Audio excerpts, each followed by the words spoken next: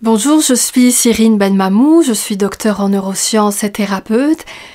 Et aujourd'hui, je vous parle de rumination, la rumination mentale, comme étant un élément indispensable à votre croissance, à votre développement, à votre accomplissement. Je sais que ça va peut-être ou probablement vous surprendre, et pourtant, c'est une réalité. La rumination, donc le fait de ressasser euh, soit des événements passés ou même des symptômes ou des circonstances actuelles difficiles, en général, on nous dit que c'est un facteur de dépression, un facteur aggravant des états dépressifs et qu'il faut absolument éviter ça. Et ce que je vous dis moi aujourd'hui, c'est le contraire, c'est que non seulement ce n'est pas euh, quelque chose à éviter, mais la rumination est indispensable si vous voulez grandir et en particulier si vous voulez grandir après des épreuves ou à partir de difficultés vraiment euh, sévères, voire traumatiques. Je me base évidemment pas uniquement sur mon expérience personnelle ni professionnelle, je me base avant tout sur des études scientifiques. D'ailleurs, Certains d'entre vous m'ont demandé parfois de donner des références. Je vous donne ici des références, étant donné que je vous dis quelque chose qui est en même, quand même euh, aux antipodes de ce que les, psychologues, les psychiatres, les, les, thérapeutes de tous bords nous répètent depuis longtemps.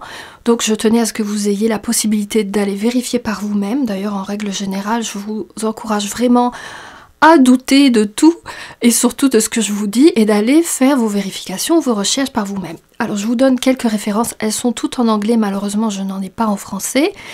Et comme vous verrez, la plupart ce sont des études scientifiques publiées dans des, journaux avec comité de lecture euh, euh, évalués par des pairs. Donc ce sont des recherches dans le domaine de la croissance post-traumatique.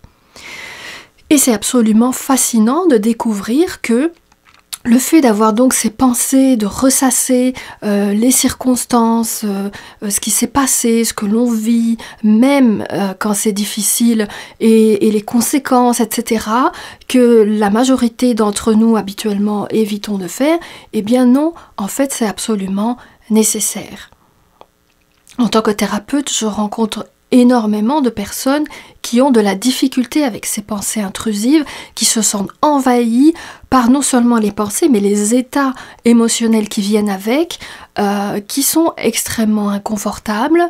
Et euh, beaucoup de personnes ont recours à des distractions, parfois pas toujours euh, positives ni constructives, pour essayer à tout prix de faire taire cette petite voix intérieure. Des fois, on parle du, hamster dans sa cage qui, tourne en rond. C'est vraiment l'image euh, qui reflète bien ce, cet état de rumination obsessif euh, de certaines pensées ou de certains événements. Donc, évidemment, je vous encourage à, lire ces références. Aujourd'hui, je vais vous faire une sorte de résumé euh, des bienfaits de la rumination et de comment la pratiquer pour que ce soit un facteur de croissance pour vous. Alors je vais commencer d'abord par la rumination que tout le monde connaît, qui est donc la rumination que je vais qualifier de défaitiste ou de fataliste, parce que la clé pour comprendre les bienfaits de la rumination, c'est de comprendre qu'il existe deux sortes de rumination. Et ces deux ruminations sont qualitativement différentes. Donc je vous le disais, la première, c'est cette rumination défaitiste fataliste qui habituellement se produit euh, de manière passive. Donc c'est vraiment une intrusion, euh, une résurgence de, de, mémoire, de souvenirs, et puis euh, des, des, réflexions qui tournent un petit peu en rond ou qui vont entretenir une perspective assez négative. Et c'est pour ça qu'on nous dit d'éviter ça, puisqu'il il est prouvé aussi que ces ruminations, ces formes de rumination, oui, elles entretiennent des états dépressifs et que les états dépressifs en retour euh, euh, accroissent la fréquence des ruminations. de la même manière, ces ruminations vont induire des, états anxieux et les états anxieux, l'anxiété donc va aussi alimenter, euh, renforcer les comportements de rumination et il y a aussi un lien évidemment entre les états dépressifs et l'anxiété. De sorte que lorsqu'on est dans cette spirale, c'est un cercle vicieux de négativité et euh, qui aboutit finalement dans, l'attitude, le, comportement des personnes qui en souffrent, euh, avant tout à de l'évitement, éviter les circonstances difficiles, éviter les ruminations, éviter toutes sortes de contextes qui risquent de déclencher ces ruminations. Donc éviter avant tout aussi de l'introspection, de tourner son regard vers l'intérieur pour euh, euh, faire cette, introspection en lien avec les euh, expériences difficiles. Ces pensées intrusives s'accompagnent donc d'états très inconfortables et aussi ce qu'on a découvert, c'est que il y a énormément d'attitudes dysfonctionnelles qui sont adoptées en réponse aux états de rumination. Par exemple, ça j'ai trouvé ça vraiment intéressant, euh, les chercheurs qui ont étudié euh, les processus d'attention, ce qui retient l'attention des personnes, de quelle manière subjectivement on perçoit le monde. Eh bien, les personnes qui sont sujettes aux ruminations vont avoir un biais subjectif orienté vers la négativité. Ça veut dire qu'elles vont accorder davantage d'attention aux situations et aux personnes négatives. Donc elles vont forcément percevoir le monde comme, étant euh, négatif, euh, difficile. Euh, et alors qu'on leur propose des situations ou des personnes positives, eh bien c'est un petit peu comme si elles n'étaient pas capables de voir cette positivité. Évidemment, ces attitudes ne sont ni des choix ni conscients ni volontaires, c'est vraiment une conséquence de cet état de rumination qui va venir affecter la perception à travers les filtres euh, que la personne va avoir. Et évidemment que ces attitudes et ces choix, même s'ils sont inconscients, ils entretiennent des croyances problématiques donc des croyances qui maintiennent la personne dans le même type de difficulté, dans l'impuissance, dans la négativité. Alors, c'est clair que ce genre de rumination-là, il vaut mieux l'éviter. Le deuxième type de rumination, c'est ce que les chercheurs ont appelé la rumination réflexive, qui est donc une forme constructive de rumination et qui est indispensable pour la croissance. Alors réflexive, hein, comme son nom l'indique, ça veut dire qu'il s'agit de revenir sur son expérience et d'apprendre à partir de l'expérience vécue. C'est ça l'approche réflexive. Et vous allez voir que c'est quasiment en miroir euh, à l'opposé de la rumination défaitiste, puisque au lieu de nourrir des états anxieux, la rumination réflexive nourrit avant tout une plus grande conscience de soi, une plus grande connaissance de soi, et donc une clarté par rapport au soi et au monde, par rapport au vécu passé et présent, et permet aussi de comprendre fondamentalement à partir de son expérience à soi subjective le sens du vécu de découvrir un sens avant tout personnel à ce qui a été vécu.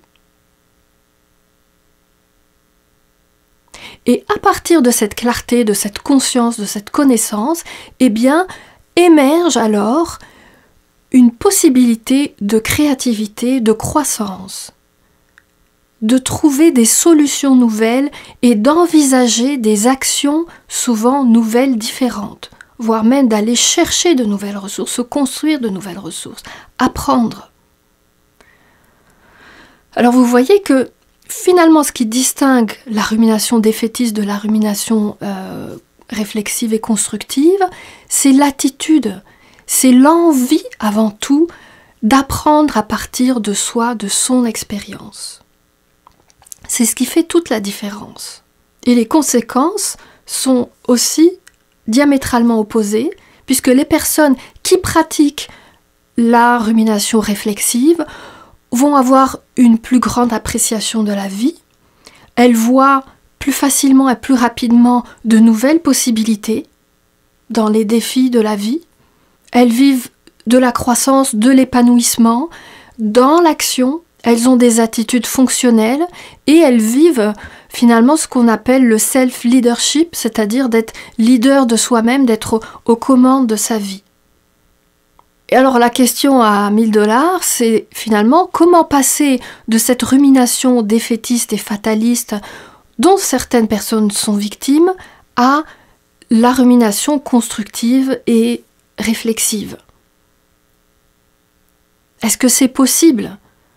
Est-ce que c'est possible lorsqu'on a l'habitude de vivre ici, dans cette négativité, de se retourner et de euh, commencer à vivre la rumination comme une, comment dire, une activité délibérée?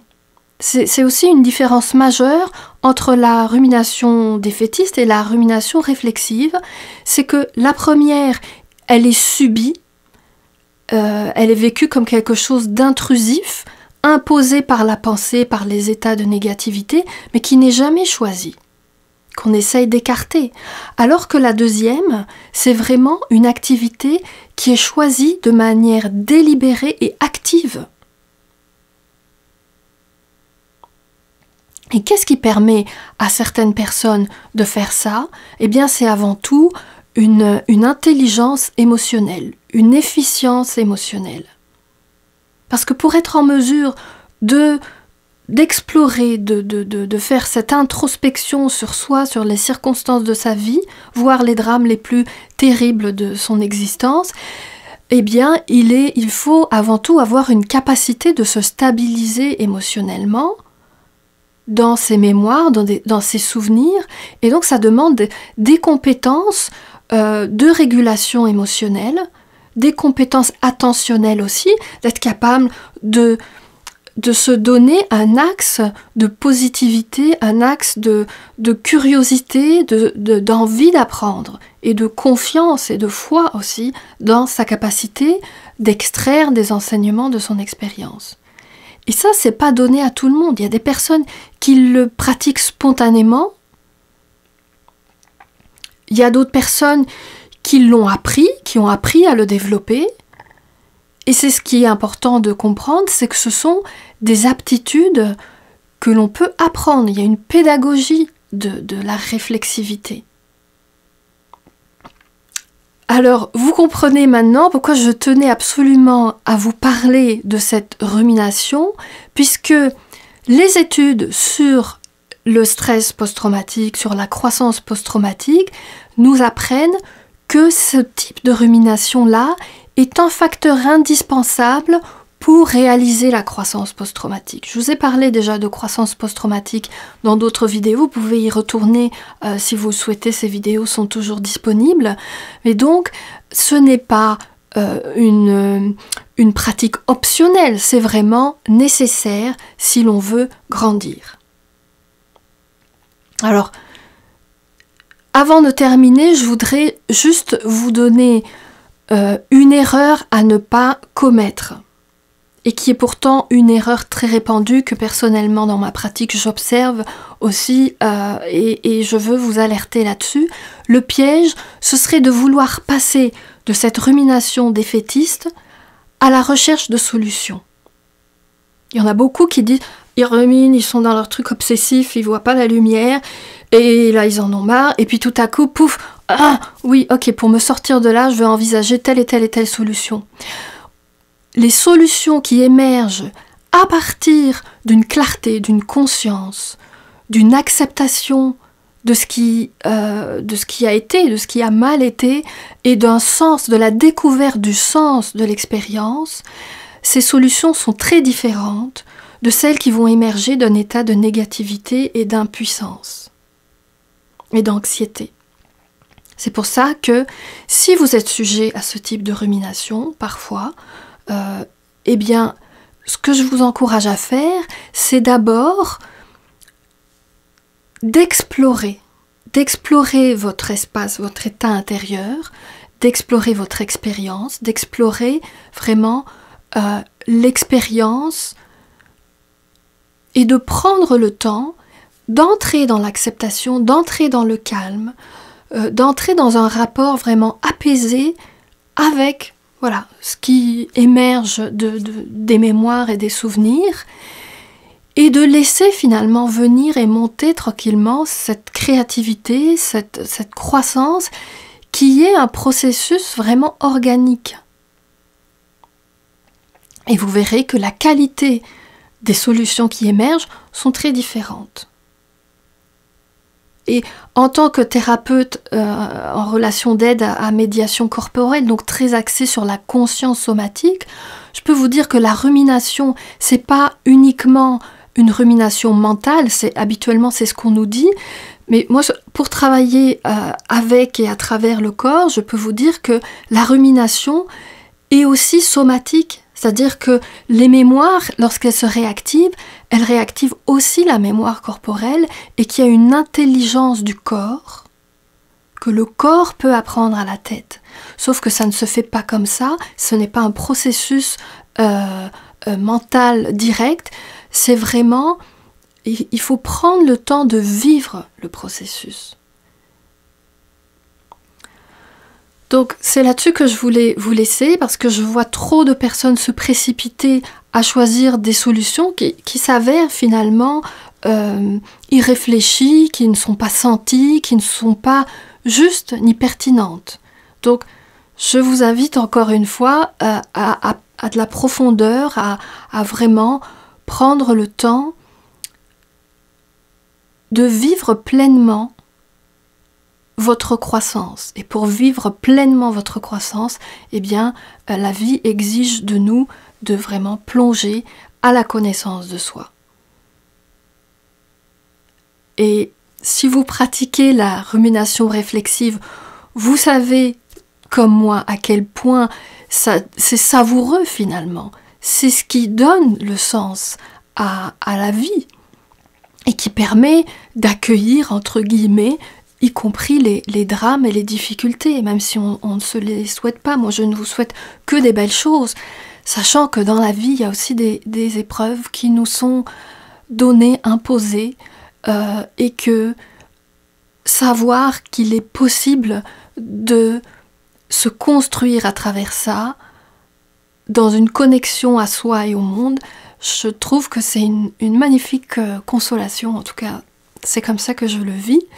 Euh, et c'est pas juste une consolation, c'est même, selon moi, ce qui vraiment euh, donne de la saveur à la vie euh, en général.